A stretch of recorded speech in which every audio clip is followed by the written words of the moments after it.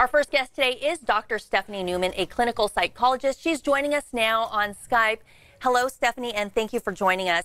A lot of us are very stressed. We're all feeling it. What can we do? What do you advise we can do to cope? So that's of course a very good question right now. There is it's important to try to exercise every day. It allows you indoors exercise, you know, to reset and regroup. But I like to also talk about mental exercise. There are things you could do to make space for your mind and calm yourself down and allow yourself to adjust to the situation or deal with the um, stress of being locked in, being isolated. So there are apps that you could find meditation, mindfulness uh, exercises, really leaning into a feeling like the anxiety, breathing in and out, really accepting it. It's real, it's understandable. Um, and at the same time, uh, as you embrace it, you know that you have it, it's inevitable. When you breathe out, trying to let it go. Practices like these and good sleep hygiene help people to deal with the daily challenges of the, the forced confinement. Right. And it's not only the grown-ups that are dealing with this, it's our kids too and our children that are now staying home with us, you know, having to adjust to different routines and schedules. Um, you've written a book, so you, you know about this parent-child dynamic, Barbarians at the PTA. Um, you're a clinical psychologist. When we talk about the kids, how do we help them cope with their stresses? The first thing I think is to explain in simple terms we are following the rules. We are keeping you safe. We are staying home. We have supplies here. We're doing what we're told and we're taking precautions.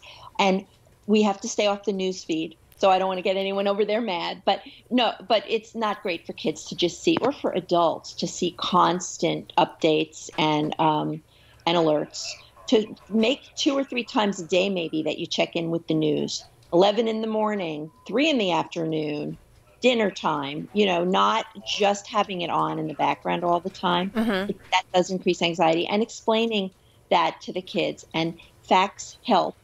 Um, this is a serious illness, but um, most people that get it recover. And of the people that get it, there are a number that become seriously ill, but most people do recover sometimes just a, a, reality check like that helps kids too. Yeah, that reassurance and like you said, keeping sort of a routine.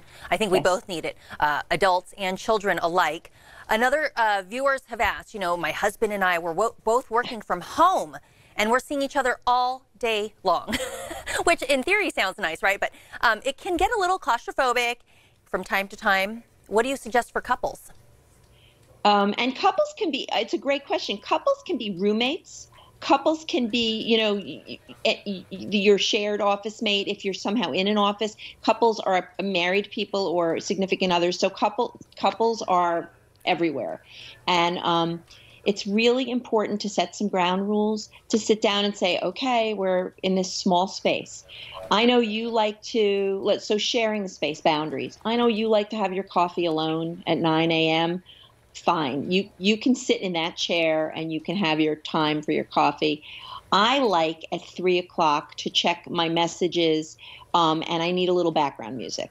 So I get three o'clock. You know, be willing to set some ground rules, boundaries to compromise, and it's really important for any kind of couple, all the permutations we just mentioned, to um, have a way to. Uh, I used the word reset before to reset. So if things escalate, you have some some agreed upon limits. We're going to walk away.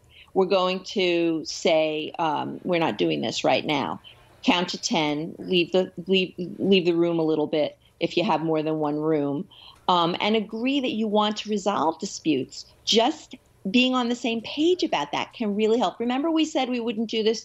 Okay. Mm-hmm. Um, tensions are high now. People are on edge. So setting some ground rules and agreeing to to work on disputes are two huge things that could help people sharing a space. Yeah, we're definitely feeling the tension and you know, like New York, we're dealing with, you know, a lot of isolation, shelter in place, which which is one thing kind of people sometimes fear that, but then there's also boredom. What do you suggest to to stay away from th- those type of feelings that can really bring us down? Right. So we are confined, but that doesn't mean we can't socialize. In a way, uh, being connected all the time uh, is we're, we have that as a, a privilege now. You can do what we're doing. You can have face to face conversations with people. You can do group chats where you you play a game or you get a party together or you you can even watch a TV show. People get very involved in TV shows or book clubs. You can um, somebody told me she's hosting a mocktail party. She's not serving alcohol, but everybody's going to be together and trying to have a social you know engagement.